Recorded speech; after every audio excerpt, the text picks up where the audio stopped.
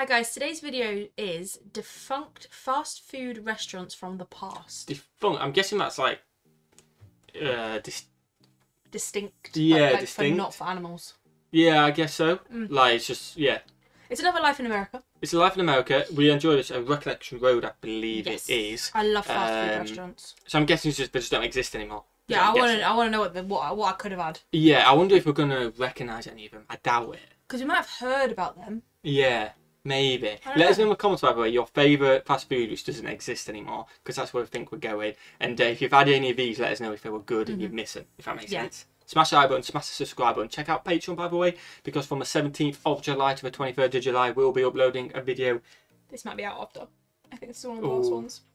Well, we've already uploaded, but I'm going we to might say not anyway. have, just in case. We don't know when this is going out. Between that time, there'll be 48 hour early access videos.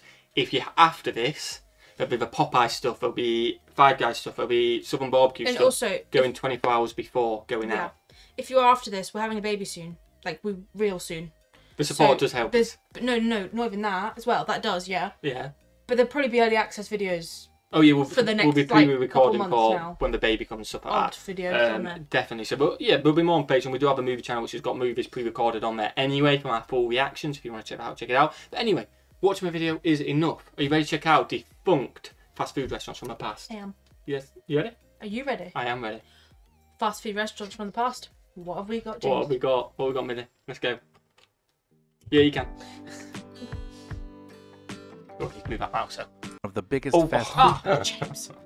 For more than 40 years, Burger Chef was one of the biggest fast food chains in the United States. Burger Chef. Based out of Indiana, the chain was founded in 1954 and it grew to operate 1,050 locations at its peak in That's the 1970s. 40 cents. The Big Chef and Super but Chef over burgers were two of their most popular menu items. places it shut and they now. also invented a kids meal they called the Fun Burger, which came with a burger, dessert, and a toy. Wow. Burger Chef even secured the Happy Meal. licensing rights to the biggest movie of the 1970s in Star Wars. Things were looking pretty good for Burger Chef, right up until the company was sold to Hardee's in 1982. Most Ah. of the locations were converted over to Hardee's, and the remaining stores that were already close to another Hardee's were just flat out closed by the end of the year. Oh wow. So is it hard, Wow. is hard as a thing now? I, I assume hard I imagine it I've never heard of it, but I was gonna say I was like over a thousand stores. How do you just disappear? Yeah. But if someone's bought them out, that makes sense. Harold and Helen Kite opened the very first Burger Queen restaurant in Winter Haven, Florida in 1956. Wow. In 1961, business partners out of Kentucky bought franchise rights and would eventually buy out the Florida based company altogether. By December Wow. of 1973, Burger Queen was opening their 50th location and would reach 171 by 1981. Okay. Locations could be found in Florida, Kentucky, Indiana, and Tennessee. But in June of 1981, Burger Queen Enterprises announced that it was changing its name to better separate itself from the confusion with Burger King. They settled on the name Druthers and maintained the same menu. But throughout the 1980s and 1990s, the number of locations dwindled.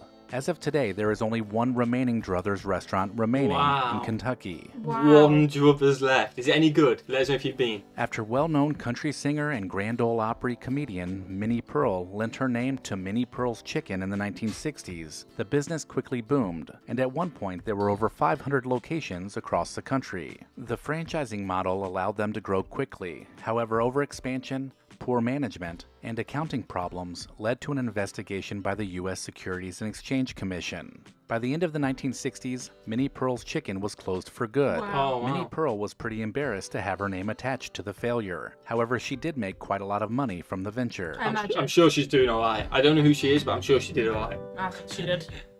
Henry's Hamburgers saw success in the 1950s and 1960s, Okay. offering 10 burgers for a buck.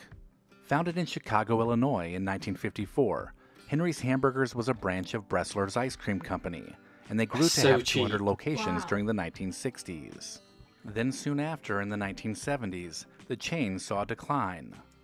Unlike Burger King, Wendy's, and McDonald's, Henry's Hamburgers failed to add a drive through or drive in feature, which led to locations closing. If you were a big fan of Henry's. If Henry's you had a McDonald's that does hamburgers, that's driving. It's just so much more convenient, isn't it? Why would you pull up and go there. Exactly. So so much more convenient. Oh, I've have a few customers, but anyone who don't want to get out of a car just go straight to other places. Yeah. Drive throughs actually so important, aren't they? Yeah. Not in Jersey though. So note. if someone wants some money, I know I'm the actually- perfect spot. But I'm surprised that it's not become a th- for McDonald's at least because McDonald's Uh, yeah, is but like where it biggest- is, where it is, it can't be done. Yeah, but make another one on the other side of the island. I'm telling you, Yeah, there won't be enough customers to have two. there would. I know a perfect place for dry food. So if you want to come over and bring all the money because I don't have any, um, we can do it and go. You can be sixty, I'll be forty. I've got the ideas. We can do it. Brainwave. We need a chef though. We also need a chef. Hello. Bring a chef, please. Hamburgers. You're in luck because one location still exists. Oh wow. Benton Harbor, Michigan is the home of the only remaining location. Oh. Let us know if you've been to it. We maybe we should go to that one day.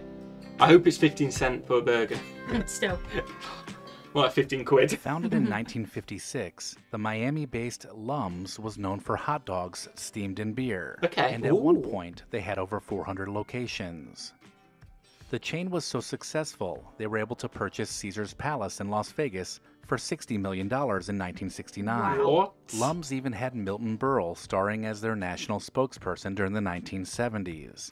But even that wasn't enough to keep the hot dog chain out of trouble. After changing hands a couple of times, Lums filed for bankruptcy in 1982 and would go on to close all of their locations by 1983. That's sad. Lums was at the peak as well. That's mad, isn't it? Mm. Oh, it can just just drop off. That's, that's scary, isn't it? Yeah. In 1957, Gino's Hamburgers was founded in Maryland, and it was owned by Baltimore Colts great Gino Marchetti. Okay. Gino's was known for hamburgers, and they had the sirloiner, the jumbo Gino, and the Jumbo Gino Giant. Gino. The restaurant also served fried chicken because they owned the franchising rights to Kentucky Fried Chicken for the mid Atlantic states. Ah, okay. At its peak, Gino's Hamburgers had 359 locations open, but it was eventually purchased in 1982 by the Marriott Corporation. Following the deal, Marriott rebranded locations as Roy Rogers restaurants, Yeah, and the final prices. Gino's location closed its doors in 1986.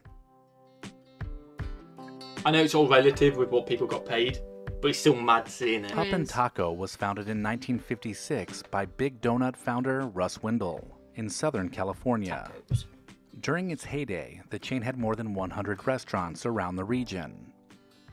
As the name suggests, they were known for hot dogs and tacos, but the menu also featured a variety of slushes and burgers. Okay. The Tonight Show host, Johnny Carson, loved the place, and it was also mentioned in the Chevy Chase movie Fletch. Okay, not seen it. Taco Nope. Bell would go on to buy out 99 of the Ah. Pup and Taco locations A in nice Taco 1984, and a few locations even hung on into 2010. Nice to know where it came from. Hmm. Bit of history behind there. But it makes sense if you're a small brand, that come in, Hmm. Buy you out, and then turn them into them. Wetson's was inspired by the original McDonald's location in San Bernardino, California. The chain operated from 1959 to 1975 and was known for its signature Big W burger, Okay. as well as 15 cent burgers and 10 cent fries. At their peak, there were approximately 70 locations in the greater New York City area, but they were unable to compete with the likes of Burger King and McDonald's. Once this forced them to close in 1975 after an ill-fated merger with Nathan's Famous. But their burger and fries combo for just a quarter couldn't be beat.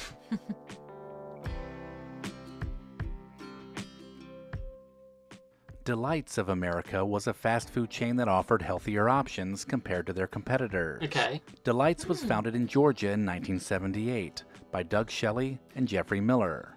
They began franchising in 1983, and by 1985 they had more than 100 stores. Quite a but when lot. chains like McDonald's, Burger King, and Wendy's began to add salads, baked potatoes, and other items to their menus, hmm. it spelled the end for Delights. Wow, just them little The chain changes. stopped Yeah. franchising in 1986 and we were beginning to close restaurants.